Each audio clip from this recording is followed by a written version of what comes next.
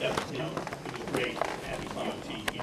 And uh, I I really appreciate the senators reading the warrants, you know, so thoroughly, and I think, you know, maybe, just maybe, you know, uh, we'll get what we're entitled to. Um, This morning, uh, Assemblyman Maisel and I and uh, Assemblywoman Weinstein, representative from Senator Golden's office, and a number of our other elected officials, and our community leaders, uh, George being one of them, uh, met with the, uh, the MTA, I would call it middle-level brass, together with uh, the station, the, the line manager, I think is what they call it, for the B train.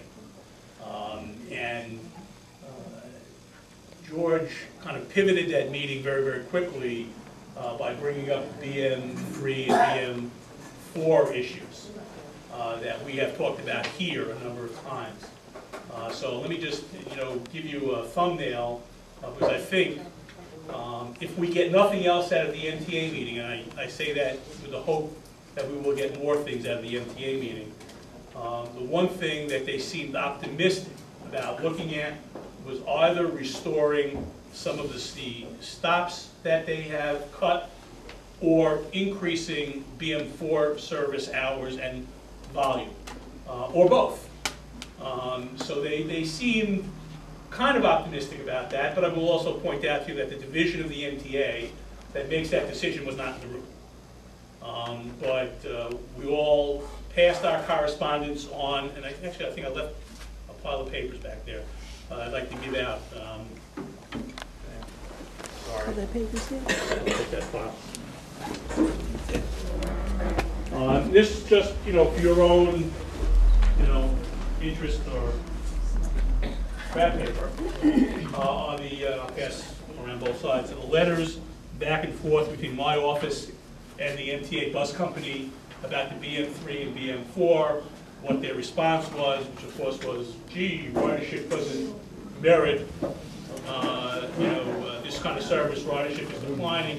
And as I said to them uh, today, and as I've said before, um, you- when you're losing customers, you don't lose service. Maybe the way you get customers is by increasing service. Um, And hopefully, they will, uh, they will respond so that the issues that I've heard in this room about the BM3 and BM4 may be satisfied as a result of our complaining about the B train. Now, the B train itself.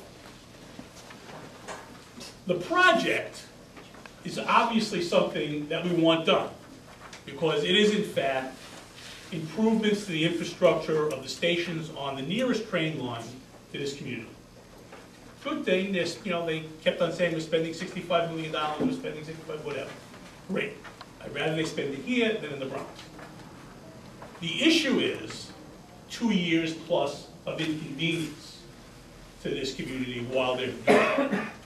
And we all question them as to, you know, what the alternatives are. Is there another way to do it where there's less inconvenience or a shorter period of time for the inconvenience?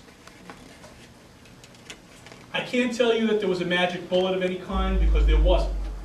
But there were a couple of ideas and alternatives that they are going to look into. One of them is they, the work right now is being done from seven AM to five PM. And we have to be sensitive to the fact that, the, you know, the B line literally runs through people's backyards. So, uh, I- you know, I, I don't want to be overly sympathetic, because A, I don't represent those people, and B, because they bought the house knowing that the train line ran through their backyard. Uh, But, you know, they bargained for train lines, not for 24-hour construction. So what I asked is that they look at extending it from 7 AM to 7 PM, which would be a 20% increase in their hours. I wouldn't expect that that's going to cut 20% off the two-year job, but maybe it'll cut 10% off the two-year job. Now, they, they indicated that they were in a consent court order with 36 homeowners that had some restrictions as to what hours they could work, and I suggested that they could negotiate with those homeowners and perhaps find a way uh, to, to help the better good of the general public, uh, so that the B train uh, could get done. If it's three months faster, then it's three months faster. The other alternative, and I want to be very clear that we weren't, we- you know, none of the elected officials in the room indicated that they, they uh, knew whether they would support this, but we did ask to to find out if they had more frequent total weekend shutdowns, which obviously would be a greater inconvenience to people who ride on the weekend. A, how much shorter would that make the job? Would there be a real benefit? And B, could they give us the ridership figures for the weekend so we knew just how many people were gonna be involved in that? So we could at least get back to all of you and ask whether or not that was a better alternative than letting the project go on for two years and three months or whatever it's now projected to. Uh, the last thing, and this is MTA speak. They said that their statistics show that as this job has continued, as they've gotten through the transition period and people understand what's happening now and whatnot, time delays have been significantly reduced. So, you know, I am always skeptical of the MTA, although I think they were there in good faith today. I'm always skeptical, and I'm not going to stand up here and tell you that up is down, when down is up. So I want to see those statistics. And we will see whether or not, in fact, the problem is getting better. Now, as they say it is, doesn't mean that it is, but if it is, maybe we don't need to do some of the more severe things. And that would certainly be something I'd want to know before I even entertain weekend service delays. Because that is not something that excites me, because I, you know, having followed a caravan of buses up Ocean Avenue on one of those, one of those few weekend uh, shutdowns that they had, uh, it was not only inconvenient, I'm sure, for the people who had to get off the train onto the buses, instead, it was also inconvenient for everyone who had to deal with the traffic congestion that it caused. So that's the B train. Um, I'm gonna pass to Assemblyman Maisel on the city planning hearing, as, uh, as you know, because you were there. Uh, I actually woke up on Thursday morning with food poisoning. When I have a stomach problem, folks, that's no small matter. And uh, I was not able to go to that meeting, even though I had set it up.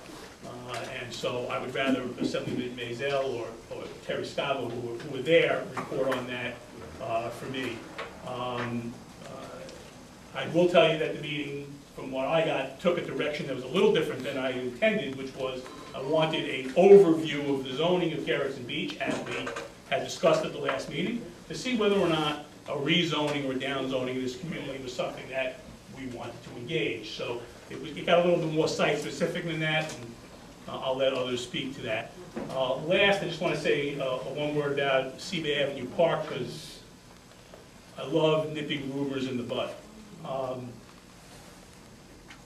The, the part of the, the phase two of Cedar Avenue Park that is being built next is the comfort station. It was about a year and a half ago, I came here with the design of the comfort station, brought a big picture, I left it with somebody, and we talked about the comfort station. So that's what's being built in the short term.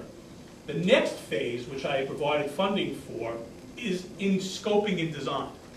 So if you hear some rumor that we're gonna have Sesame Place here on Cedar Avenue, and that it's gonna take up part of the baseball that's impossible. Because first of all, we're talking about a little sprinkler thing for the kiddies, all right? And second, no site has been picked, so it couldn't possibly be the case. So before anything happens, there will be a scoping meeting with the community groups, and I guarantee, property owners, GB Cares, the Little League, will all be at the table to discuss what that plan is actually going to encompass as they design it. Because I do not, under any circumstances, want to build something in your park that you do not want. Doesn't make any sense. Um, I was asked to extend the top lot, that is definitely what has been funded here. Most full top lots in the city of New York, you know, the ones that they call grade A top lots of the Parks Department, have a small sprinkler area for the kids to run around in the hot day. You'll have the opportunity to tell me if you want that or you don't, and I'm looking forward to hearing from you. Yes. I just wanted to ask you about the bathrooms. Um, Mhm. is there gonna be a party there at all times or not? The, the, is there gonna be a, a park attendant? Um, the comfort stations, the, the bathrooms will be open uh, at all times, is my understanding, with a self-locking door.